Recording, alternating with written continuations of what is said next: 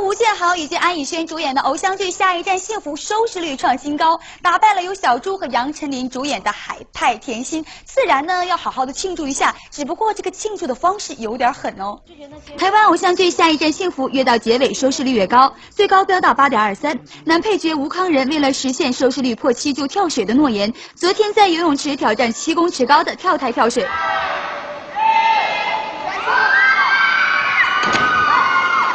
刚刚有一点紧张，有一点紧张，啊还好，我没有练过。原本以为男主角吴建豪也会跳水，吸引了众多媒体到场观看，但实际上吴建豪和导演等人只是站在池边加油。吴建豪还顺便说说风凉话：跳水好帅哦，然后身材又练得那么好，嗯，好羡慕。既然跳水这么吸引人，吴建豪自己为什么不试试呢？破什么？破十啊？破十一？破十一啊？好，破十一我跳。可以啊，哎啊！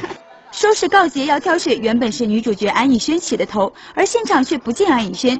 剧组爆料，收视率破十，安以轩就要跳钢管舞。是以轩哦，以轩凹的，对他今天没来，今天又没来，你看，那我们要凹一下以轩。他说破十，他要跳钢管。啊，破十他要跳钢管，跳钢管。他很会跳，他很会跳舞，太想看他了。我们是爆他料，没有，他真的很性感呐，他跳钢管超性感。